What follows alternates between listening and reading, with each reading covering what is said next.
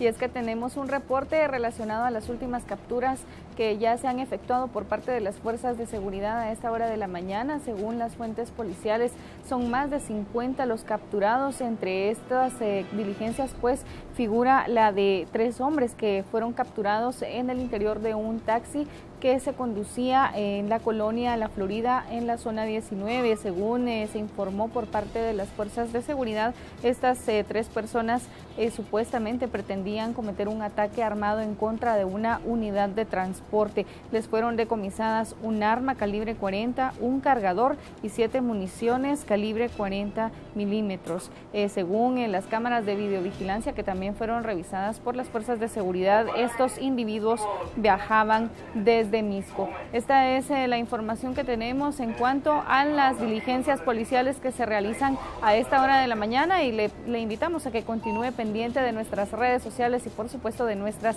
emisiones. Es lo que tengo de momento, Diana. Regreso contigo al set principal.